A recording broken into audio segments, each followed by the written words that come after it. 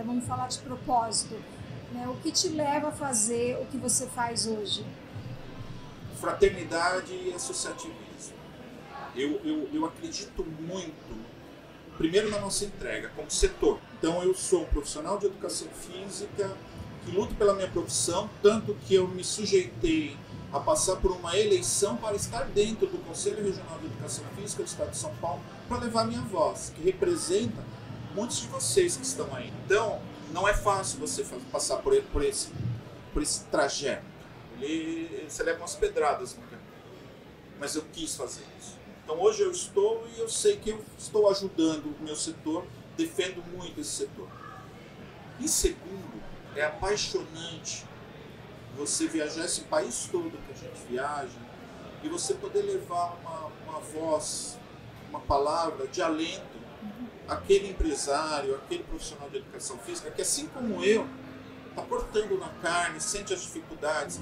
Então, embora eu está presidente da CAD Brasil, está conselheiro do CREF São Paulo, o meu dia a dia é ver a temperatura da minha piscina, entrar dentro da minha casa de máquinas, conversar com o meu pessoal de manutenção para arrumar o cabo de aço que quebrou, igual de vocês, ver o meu caixa como está, ver as vendas como estão, andar pela, pelas academias para ver se a limpeza está certa, como que está a energia dos professores.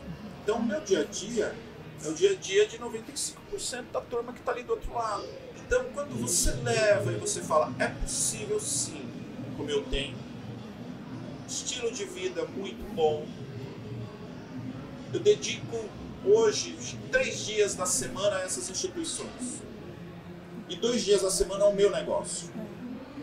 Então eu falo assim, eu não tenho uma academia, eu tenho é, mais, de, mais do que uma academia, mas eu não sou uma rede.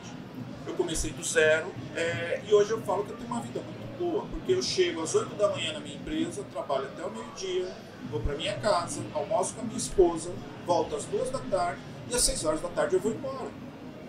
E as minhas academias elas abrem das 6 da manhã e vão até as 10 horas da noite. Sábado eu não vou para minha academia. Então eu sei que eu estou fora da grande maioria, porque o dono da academia, infelizmente, ele é o primeiro a chegar, o último a sair, de segunda a segunda.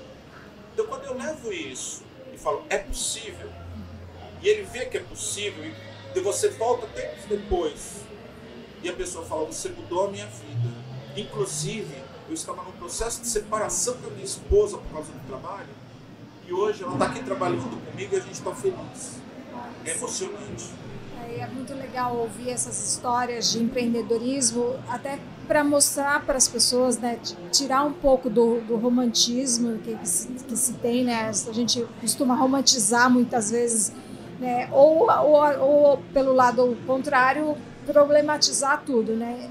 Assim, é uma vida é, não é, que não é fácil, mas também não é impossível.